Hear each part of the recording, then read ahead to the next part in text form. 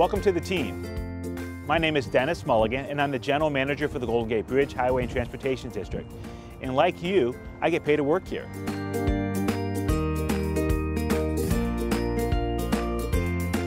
Each and every one of us here at the Bridge District plays a vital role in this unique, special organization. We're entrusted with preserving this bridge that you see behind me. It's an international icon and a symbol of our community.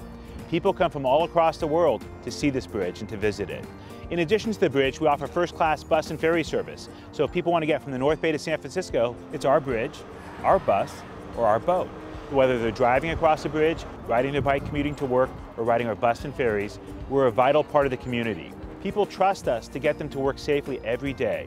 So each of us has a role in providing first-class customer service. Whether you're a bus driver who's taking people to work, whether you're a paint laborer out on the bridge, part of a team preserving this icon for future generations, whether you're someone in payroll that makes sure we all get paid, or you're that deckhand providing safe passage on the boat, people rely upon you every day and they appreciate what you do. So thanks for being part of our team and welcome to the Bridge District.